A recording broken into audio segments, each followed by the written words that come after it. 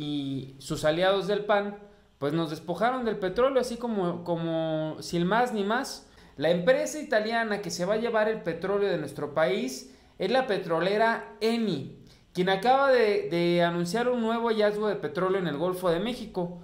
Así como, ay, ya nos encontramos petróleo. Era de los mexicanos, pero como Peña nos dio aquí una concesión, pues podemos ganarlo. Que nadie se confunda.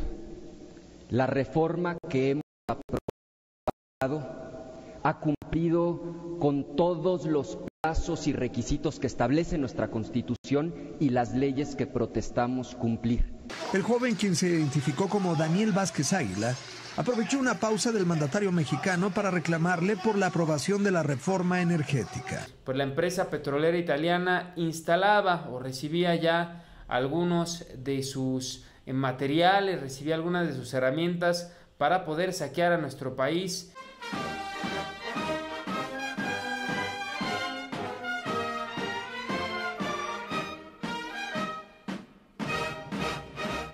¿Qué tal amigas y amigos? Gracias por sus likes, por sus comentarios, por compartir nuestros videos.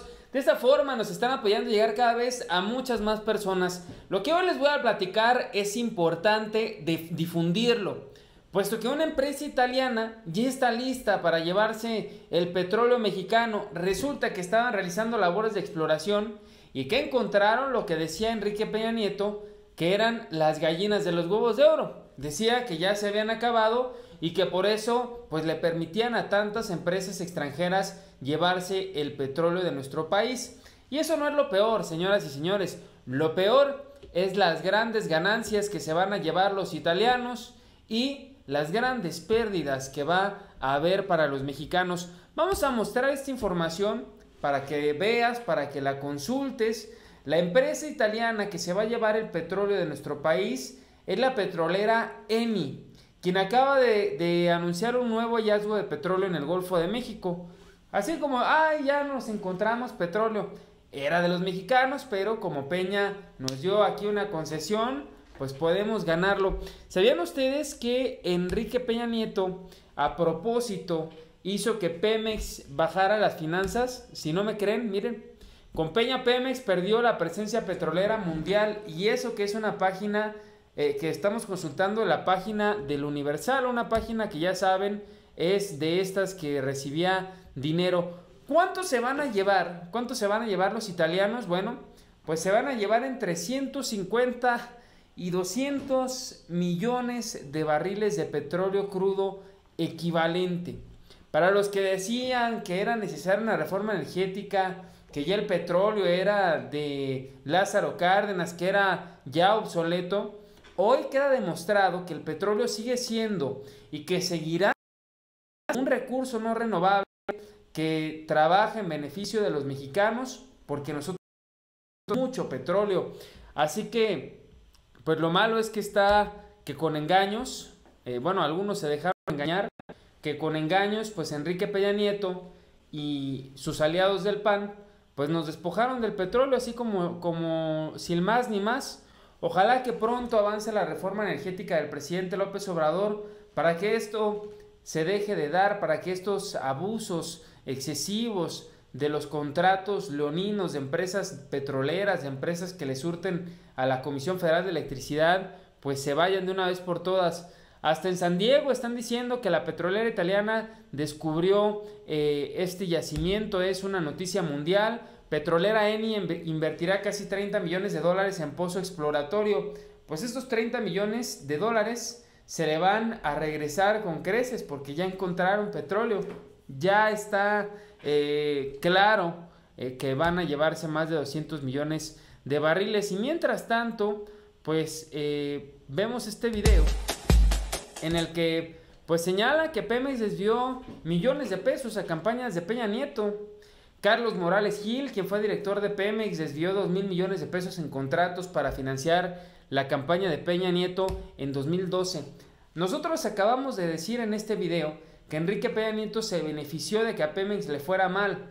Pero a ver, no se trata de que el beneficio era directamente porque le fuera mal, sino que a los directores de Pemex, a los que se creían dueños de Pemex, les empezó a ir mucho mejor cuando Pemex le empezó a ir peor.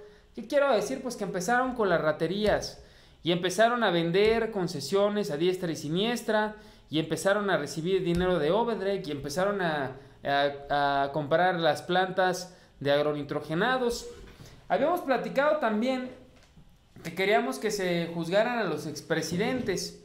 Bueno, también creo que algunos de los hijos de los expresidentes se les debería juzgar. Eh, Miguel Alemán Magnani es el dueño de Interjet y es el dueño de una de las compañías que ha eh, pues puesto ahora eh, los ojos en esta familia presidencial pues trataban o querían meterse en el tema del petróleo cuando vieron la reforma energética ellos como ratas de rapiña fueron a hablar con Peña y pues trataron de aprovechar para formar una controladora que abarcara el mercado de transporte y la exploración de petróleo. Pero el presidente López Obrador les frenó sus inversiones y ahí tiene su consecuencia, la bancarrota. Y vamos a escuchar a este payaso que, que nos va a platicar lo que fue para él la reforma energética y que hoy, después de destruir el país, es uno de los máximos opositores al gobierno de López Obrador. Vamos a escuchar. Que nadie se confunda.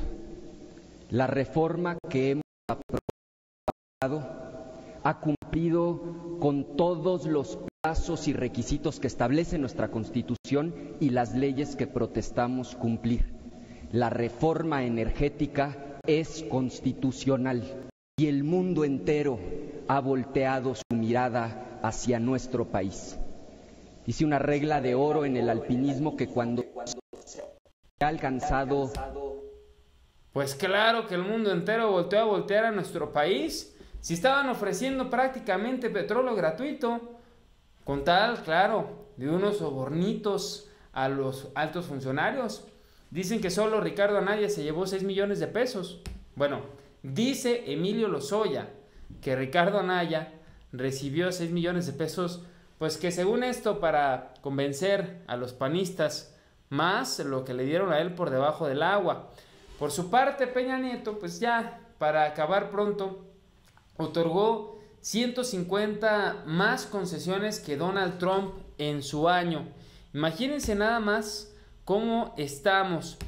Por supuesto que en su momento se le reclamó a Peña Nieto, se le reclamó a los panistas. Vamos a ver este video en el que pues un joven trataba de reclamarle a Enrique Peña Nieto y pues el Estado Mayor Presidencial de aquel momento lo sacó y lo forzó a callar.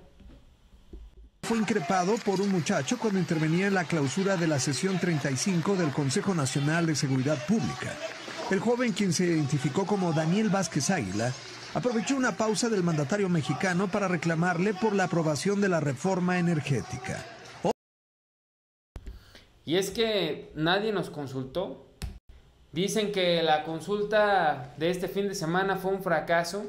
Lo que no nos dicen es que es histórico que por primera vez, por primera vez en la historia de nuestro país, el presidente le pregunte a los ciudadanos qué hacer.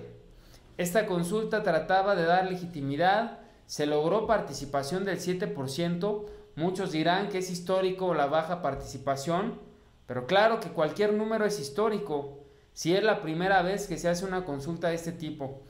Esta consulta luchó contra los intereses de Lorenzo Córdoba, esta consulta luchó contra los intereses de Salinas, de Felipe Calderón, y a final de cuentas se logró hacer, luchó en contra de los intereses incluso de los petroleros, como esta petrolera italiana que se acaba de llevar, eh, que acaban de encontrar petróleo.